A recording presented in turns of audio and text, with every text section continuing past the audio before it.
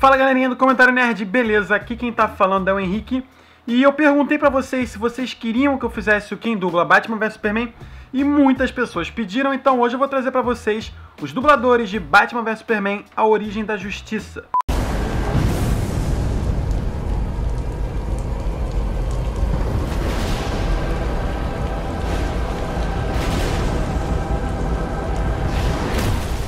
Bom, e antes de começar o vídeo, eu quero pedir para vocês esmagarem o like, que isso é muito importante pro Comentário Nerd, e se inscrever aqui no canal caso você não seja inscrito. Bom, um dos principais personagens do filme é o Batman, que foi interpretado pelo ator Ben Affleck, que no Brasil teve a sua voz feita pelo ator e dublador Jorge Lucas. O planeta diário criticar quem pensa que está acima da lei é meio hipócrita. A galera que viu meu recém-postado Quem Dubla Piratas do Caribe sabe que o Jorge Lucas é o novo dublador do Jack Sparrow depois da confusão né, do Marco Antônio com a Disney, que ele acabou saindo. Então o Jorge Lucas, de agora em diante, vai ser a voz do Johnny Depp no Jack Sparrow. E outro ponto muito legal do Jorge Lucas é que ele é muito conhecido por ser a voz mesmo do Ben Affleck, tanto que ele já dublou em vários outros filmes. Eu não acho que um biscoito de bichinho vale como biscoito. Por quê? Porque é doce. Pra mim, biscoito doce é doce. Uma dublagem que ele faz também que eu gosto muito e marcou muito a minha infância é a dublagem do William Defoe nos filmes do Homem-Aranha do Sam Raimi. Você é uma criatura incrível, Homem-Aranha. Nós dois não somos tão diferentes. Eu não sou igual a você. Bom, a gente falou do Batman, agora a gente tem que falar do Superman. O Superman foi vivido pelo ator Henry Cavill, e no Brasil a voz dele foi feita por um dos meus dubladores favoritos, que é o Guilherme Briggs, que além disso, ele foi também o diretor da dublagem desse filme. Qual a sua opinião sobre o morcego vigilante de Gotham? A maior parte do mundo não compartilha da sua opinião, Sr. Wayne. Bom, eu sou muito fã do Guilherme Briggs, pra mim ele é um dos maiores dubladores e um dos caras mais legais que eu já conheci no, na internet. E é óbvio, ele possui uma legião de fãs que o seguem ferrenhamente também, é muito maneiro isso. E ele ficou eternizado na dublagem fazendo a voz do Buzz Lightyear, né, nos filmes do Toy Story. Registro da missão de Buzz Lightyear. Sinais apontam para este planeta como localização da fortaleza de Zurg, mas não parece haver sinal de vida inteligente em parte alguma.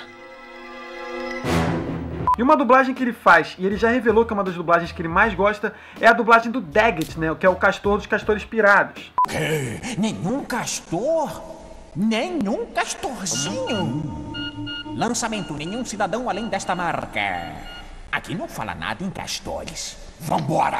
Porém, não tem como falar do Guilherme Briggs sem falar da excelente, magistral dublagem dele do Frikazoid. Cara, essa dublagem eu acho que é uma das dublagens mais perfeitas já feitas. A animação no Brasil fez um sucesso absurdo por causa da dublagem. Nos Estados Unidos foi muito mal, porque não foi o Guilherme Briggs que fez. Então, cara, é muito foda o Frikazoid. Acho melhor a gente sair daqui. O cara de siri não me assusta. Eu já vi piores. Ai, tem catarro na minha mão! Oh, oh. Que que é isso, gente? Eu sou um super-herói! Cavernoso, bovino, vocês têm a força de 20 homens! Cerebelo, você é tão mal quanto eles! Leonard, você conhece todos os filmes já produzidos! São só macacões pagando mico. Tá na hora da pamonha! Bom, a Lois Lane, né, a eterna namoradinha do Superman, foi vivida pela atriz Amy Adams, que no Brasil teve a sua voz feita pela dubladora Silvia Salusti. Significa? Não é um S. No meu mundo significa esperança. Bom, aqui é um S. Silvia já apareceu algumas vezes aqui no Quem Dubla e ela é muito conhecida por ser a voz da Sarah Michele. Invadindo seu escritório e xeretando seus arquivos secretos. Candidato a quê? Vou chamar a polícia. E uma curiosidade, ela dublou a Lois Lane no filme do Batman vs Superman e também dublou na série do Smallville, quando ela foi vivida pela Erika Durance. Parece que você não tem muita opção, porque o Clark falou a verdade. Estamos em Metrópolis, coisas estranhas acontecem o tempo inteiro, se acostuma. E uma dublagem que eu quero trazer pra vocês aí que ela faz também que marcou muito e provavelmente eu vou falar e vocês vão se lembrar é a dublagem da Mary Jane na primeira trilogia do Homem-Aranha, vivida pela atriz Kristen Dunst. Você tem o dom de se meter em encrenca. E você tem o dom de salvar minha vida. Eu acho que eu tenho um super-herói da guarda. Eu estava de passagem. Você é incrível. O vilão do filme foi o Lex Luthor, que foi vivido pelo ator Jesse Eisenberg. E a dublagem dele foi feita pelo Sérgio Cantu. Eu sei, a galera não gostou muito do Lex Luthor, porém a dublagem ficou sensacional. Hum, Bruce Wayne conhece Clark Kent. Adorei. Eu adoro aproximar as pessoas. Como vão? Lex. Olá. Que bom. Oi, olá. Lex, é um prazer. Au, uau, que aperto forte. E o Sérgio é muito conhecido por ser o dublador do Sheldon Cooper, né, no The Big Bang Theory. Querido futuro Sheldon louco, você foi à loucura por causa de uma música. Sua mente, que já foi seu bem mais confiável, é agora um saco cheio de amendoins. E como eu já falei do Homem-Aranha algumas vezes, ele é a voz do Andrew Garfield nos filmes do espetacular Homem-Aranha. Que que é isso, cara? Aí, vou te ajudar. Tá? Melhorou? Nesse filme a gente teve a introdução da Mulher Maravilha, que foi vivida pela atriz Gal Gadot. Eu fiz recentemente o quem dubla do filme solo da Mulher Maravilha, vai aparecer aqui no card para vocês, caso vocês queiram ver. E no vídeo eu falei que a Mulher Maravilha foi dublada pela atriz Flávia Sede. Eu já quis salvar o mundo.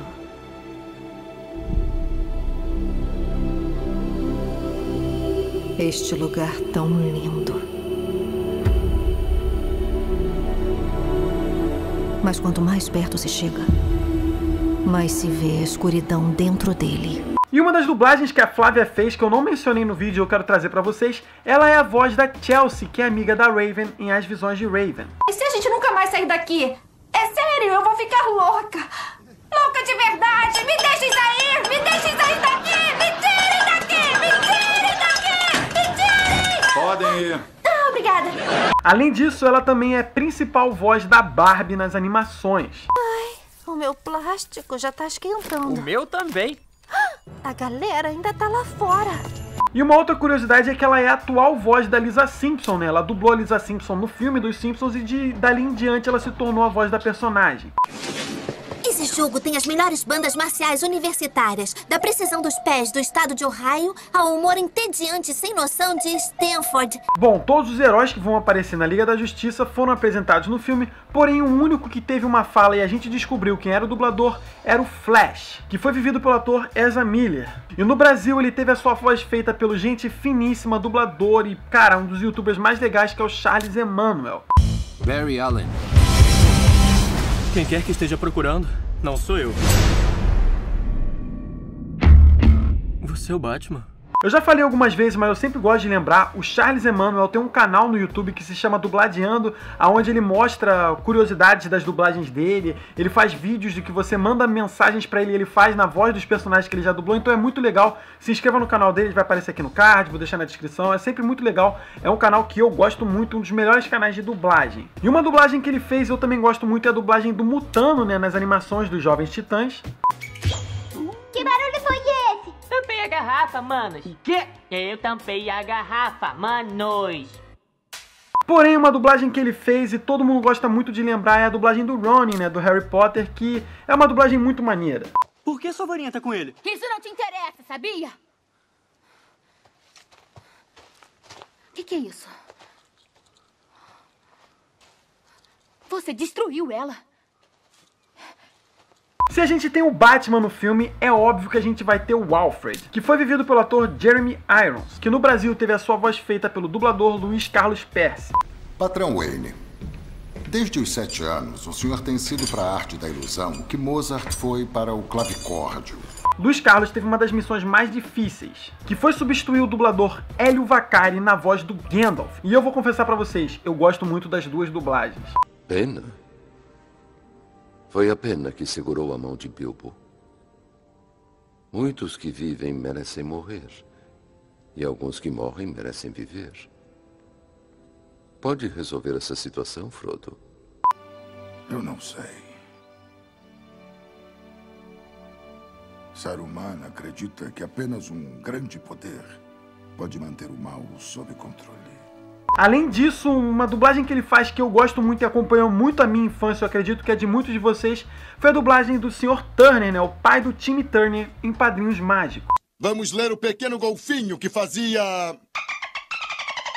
Divirtam-se! E é óbvio que se temos o Superman, a gente vai ter a Marta, que inclusive teve a polêmica do filme, né, que foi ela que resolveu a história, enfim. No Brasil, a voz dela foi feita pela dubladora Sheila Dorfman. Sheila já dublou vários filmes da Sandra Bullock. Me dá um minuto, Bert. Ah, estamos no meio de um treino, Lien. Depois você me agradece. Vem cá. Michael, você lembra quando a gente se conheceu e fomos comprar aquelas roupas horrorosas pra você?